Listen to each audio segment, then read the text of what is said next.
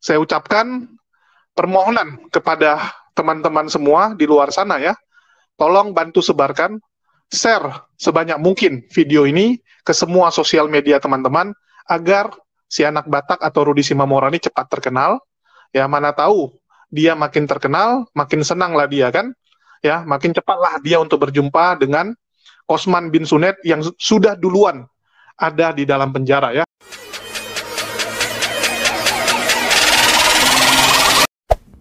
There. Subscribe to my channel. And also press this bell icon. Halo saudara-saudaraku yang terkasih di dalam Tuhan di mana pun Anda berada Bertemu kembali dengan saya Rina Solihin dalam channel Rina Menjawab Teman-teman bagaimana kabar Anda semuanya? Kalau di tempat saya ini cuacanya sedikit mendung ya teman-teman Dan ada gerimisnya juga ya. Tapi semoga hati kita semua tetap hangat ya, teman-teman.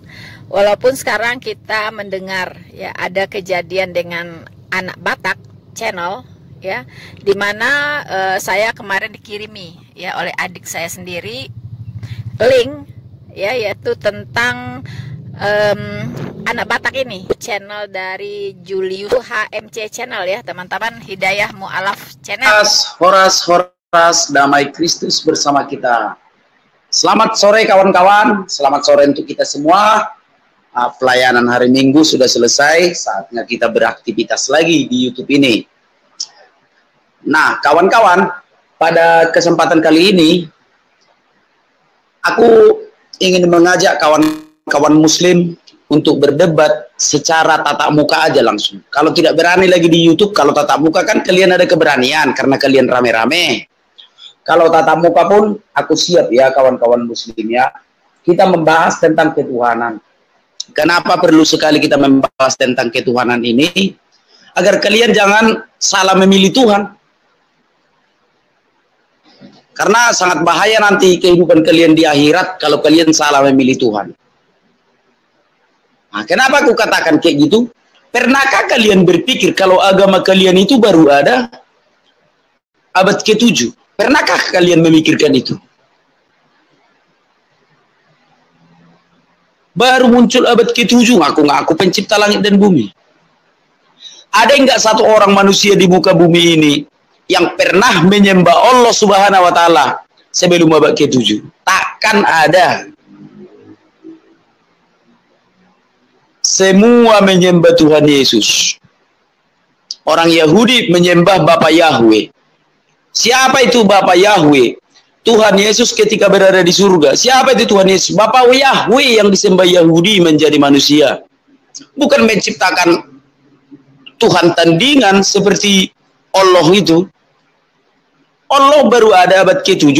Sok-sokan pula itu mengutuk Yahudi.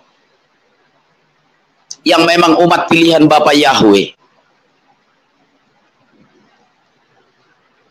Saya setelah menonton ya video itu dan melihat bagaimana uh, Julius ini ternyata anak Batak ini katanya menghujat melakukan penghujatan katanya kepada Allah Subhanahu wa taala.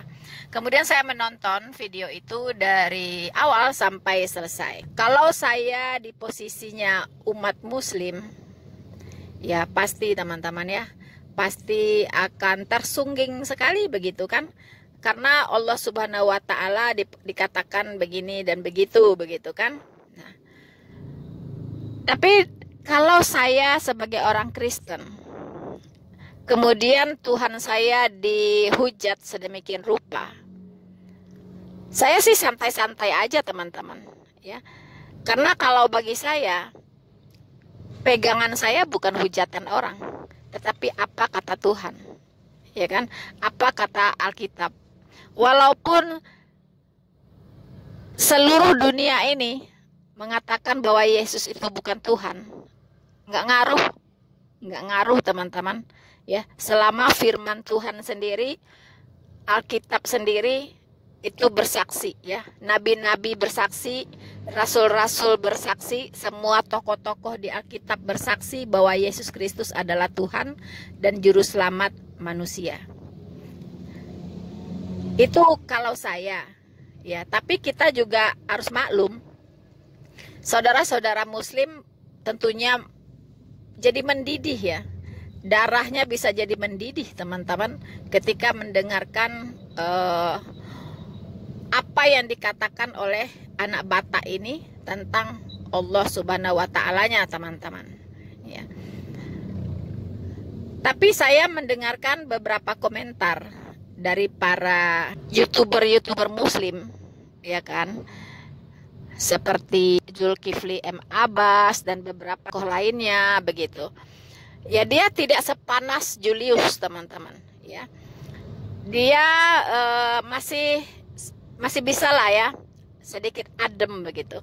Tapi kalau Julius HMC ini saya lihat itu panas sekali gitu ya. Sehingga dia e, tanpa perhitungan kalau saya katakan memviralkan ya. Memviralkan anak Batak ini. Harus diviralkan harus di nih apa diviralkan di share ke mana-mana begitu kan dihimbau untuk memviralkan sebenarnya itu kurang cerdas kalau saya bilang teman-teman ya orang tadinya tidak tidak mendengar jadi mendengar begitu iya kan kalau mendengar seperti itu, itu bisa menimbulkan efek yang tidak baik untuk Islam sendiri. Ya. Menimbulkan efek yang tidak baik untuk muslim sendiri. Atau ada orang-orang Kristen yang sudah mau-mau jadi Islam mendengar seperti itu akhirnya nggak jadi gitu. Nggak jadi mu'alaf teman-teman. ya kan? Nggak jadi gitu. Jadi kalau saya jadi Julius ini, saya tidak akan memviralkan seperti itu. Ya. Kalau bisa ya di, dicuekin saja begitu. Ya. Tidak usah di share dicuekin saja. Jadi tidak ada yang tahu gitu. Nah kalau sudah seperti ini mau gimana lagi? Betul ya anak Batak kalau misalnya terbukti dia melakukan penghujatan tentunya ada proses hukum yang harus dijalani ya. Tapi kita tahu hukum kita kan tidak tidak tidak bisa diharapkan ya seperti sebagaimana mestinya begitu. Kita sudah berpengalaman dengan Bapak MKC, ya kan? Dengan Yahya Waloni. Mau berharap hukum itu ditegakkan secara adil, jauh panggang dari api begitu. Ada yang mengatakan bahwa anak Batak ini ini uh, sedang mengalami frustasi katanya frustasi ya. Mengapa? Karena banyak yang jadi mualaf begitu. Ya kan? Tapi kalau saya bilang ngapain harus frustasi kalau seandainya itu pun benar anak Batak frustasi. Tapi itu tidak harus frustasi begitu, ya. Kenapa? Karena firman Tuhan sendiri ya Tuhan Yesus sendiri sudah menubuatkan. Sebelum kedatangannya yang kedua kali itu akan terjadi dulu murtad. Ya kan? Banyak orang-orang yang menyebut dirinya Kristen yang Kristen ini ya yang suam-suam kuku ya teman-teman. Nggak panas nggak dingin. Itu pasti ya pasti karena hal-hal yang duniawi misalnya itu bisa saja menjadi mualaf ya kan nah dan itu memang di di apa di blow up ya oleh channel-channel muslim begitu ya kan di blow up teman-teman. Lalu haruskah orang-orang Kristen merasa risih begitu? Tidak perlu, tidak perlu begitu. Santai aja. Karena memang Tuhan Yesus sudah mengatakan, ketika anak manusia itu datang, adakah ia dapati iman di bumi? Jadi saat Tuhan Yesus datang, hanya sedikit saja orang Kristen yang punya iman yang benar kepada Yesus Kristus. Sedikit saja. Ya. Jadi tidak salah Tuhan Yesus berkata, ketika anak manusia itu datang, adakah ia dapati iman di bumi? Dan juga Alkitab sudah mencatat, ketika murid bertanya, apakah tanda-tanda kesudahan dunia ini dan apakah tanda-tanda kedatanganmu? Waktu murid bertanya kepada Tuhan Yesus.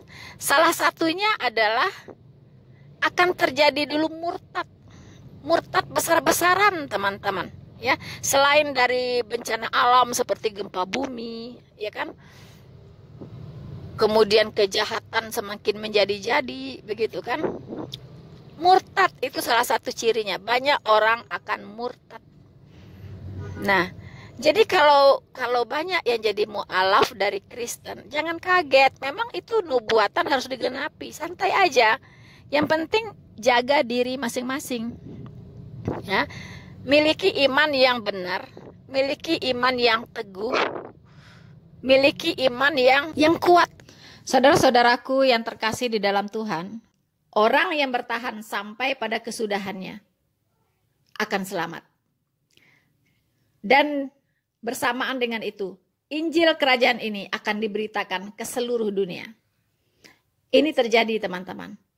Ya. Penganiayaan, penghujatan terhadap Yesus Kristus memunculkan apologet-apologet Kristen yang berdiri di garis depan untuk menangkis berbagai serangan, ya, berbagai penyesatan yang dilakukan terhadap kekristenan teman-teman. Dengan demikian, Injil Kerajaan Allah diberitakan ke seluruh dunia. Jadi, saya berharap tidak muncul lagi anak Batak-anak Batak yang lain. Ya. Untuk melakukan hal-hal yang kurang baik ya. Saya tahu anak Batak masih muda sekali tentunya punya darah muda ya yang berkobar yang membara ya. Mungkin tidak tahan selama ini dengan hujatan-hujatan yang di, dilontarkan oleh teman-teman muslim. Ya sehingga dia sampai kepada ide untuk membuat satu konten yang sedemikian rupa. Dan ini dilihat sebagai satu penghujatan. Sebenarnya tidak beda ketika anak Batak mengatakan Allah Subhanahu wa taala itu bukan Tuhan. Apa bedanya ketika umat Islam mengatakan Yesus itu bukan Tuhan? Apa bedanya? Sama saja. Ya. Tapi umat Kristen tidak bereaksi seperti umat muslim bereaksi. Sampai ormas-ormas turun ya. Sampai berusaha untuk memviralkan, dihimbau untuk memviralkan kontennya anak Batak. Tetapi itu sebenarnya satu kebodohan dan merugikan diri sendiri. Orang jadi tahu. Ya kan? Seharusnya orang tidak perlu mendengar apa yang dikatakan oleh anak Batak ini. Karena orang-orang Islam yang lemah iman itu jadi berpikir, apa iya ya? Apa iya ya? gitu. Dan orang-orang Kristen yang sudah tadinya terombang-ambing, udah pengen jadi mualaf, akhirnya berpikir ulang. Eh, apa iya ya? Apa iya ya? Begitu kan, teman-teman. Jadi mari kita semua bersikap bijak, berhentilah untuk memviralkan konten anak Batak ini karena ini tidak baik dampaknya ya.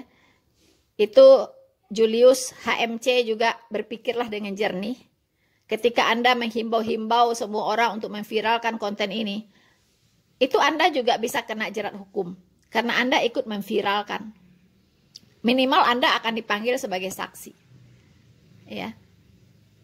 Kalau Anda memviralkan, berarti Anda juga terlibat untuk memicu tersebarnya konten yang seperti ini. Ya. Jadi mari jangan serampangan ya jangan serampangan, jangan membuat suasana menjadi semakin panas. Anda harus menyejukkan suasana, bukan memanas-manasi. Saya lihat Julius HMC ini, ini sangat pintar bersilat lidah. Ya, bersilat lidah, memutarbalikkan kata. Terlepas dari masalah anak Batak, tapi saya perhatikan seperti itu. Jadi saudara-saudaraku yang terkasih di dalam Tuhan, untuk menjaga kondisi bangsa dan negara kita supaya kondusif, semua umat beragama saya himbau untuk berhentilah menghujat agama lain. Berhentilah menghujat sembahan orang lain, maka dunia ini akan damai. Karena tidak akan muncul seorang anak Batak kalau tidak ada orang seperti Zulkifli M. Abbas, kalau tidak ada orang seperti Yaya Waloni, kalau tidak ada orang seperti Agustan, kalau tidak ada orang seperti Yonatan Nandar, kalau tidak ada orang seperti Julius HMC, kalau tidak ada orang seperti Kainama, dan lain-lain sebagainya. So, saudara-saudaraku yang terkasih di dalam Tuhan, mari kita semua menjaga ketenangan, kedamaian, keharmonisan antar umat beragama di negeri ini. Imani agama masing-masing. Tidak perlu membahas agama orang lain. Tidak perlu menghujat agama orang lain. Jangan sampai orang-orang ada yang hobinya menghujat agama orang lain tapi tidak siap untuk dihujat. Ini yang muncullah persoalan. Ya, teman-teman, saya kira sekian dulu apa yang bisa saya tanggapi. Mari kita jaga NKRI. Kita mari menjadi anak bangsa yang bijak, anak bangsa yang berpikir panjang, ya, dan tidak egois, ya, karena masalah ini tidak bisa dilihat satu sisi. Orang tidak bisa bertepuk sebelah tangan, teman-teman. Jadi mari kita lihat ini secara objektif. Semoga Indonesia semakin jaya, semakin diberkati oleh Tuhan Yesus. Mara Nata. Pendeta-pendeta tersebut sedang dirasuki iblis. Padahal kalau kita mau jujur bilang ya, sebenarnya mereka bukan sedang dirasuki iblis, tapi memang dirasuki oleh roh-roh yang diakui sebagai roh kardus ya.